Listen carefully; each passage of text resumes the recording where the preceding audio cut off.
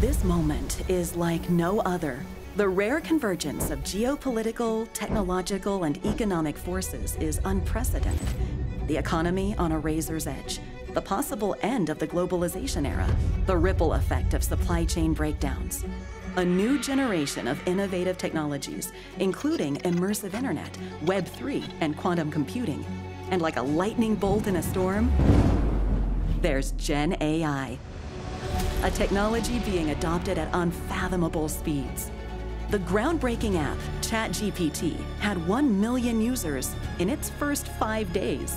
And now, billions of smartphone users have access to the most powerful AI the world has ever seen. Like Thomas Edison's light bulb, Gen AI is bringing to light a new set of realities. New realities with endless potential and exponential effects.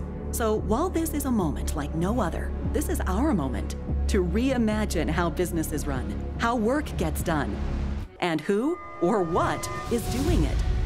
There will be questions without known answers.